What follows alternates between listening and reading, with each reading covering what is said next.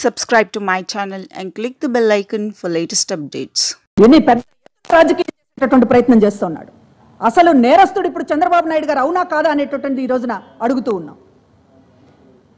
దర్యాప్తు అనేటటువంటి దాన్ని పూర్తిగా తన చెప్పు చేతల్లోకి తీసుకురావడానికి విశ్వ ప్రయత్నం చేస్తున్నటువంటి ఇన్ని నేరస్తుడు అంటారా లేకపోతే ముఖ్యమంత్రి అంటారా?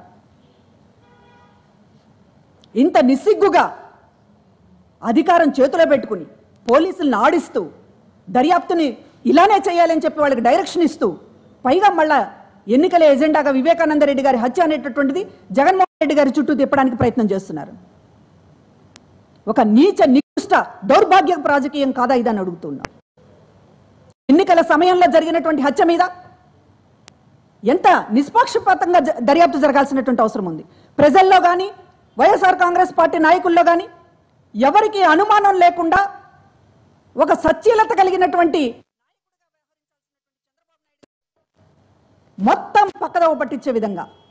అసలు హత్య ఎవరు చేశారనేటటువంటి బయటకు రాకుండా ఆయన వ్యవహరిస్తున్నటువంటి తీరు ఎన్నికల సమయంలో ఒక కీలకమైనటువంటి సమయంలో ఆయన వ్యవహరిస్తున్నటువంటి తీరు క్షమించరానటువంటిది.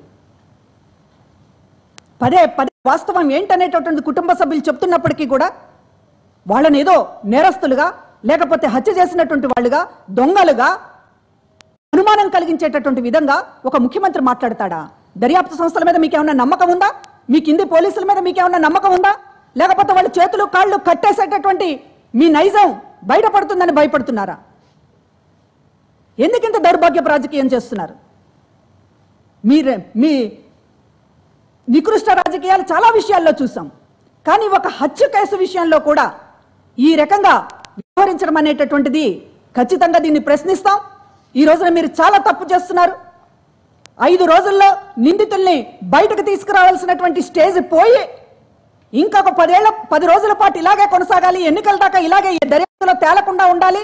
నేను మాత్రం ఎన్నికల సభల్లో ఊకదంపుడు ఉపన్యాసాల్లో ఇదే మాట్లాడాలి అనేటటువంటిది పెట్టుకున్నాడు చంద్రబాబు నాయుడు గారు. ఐదు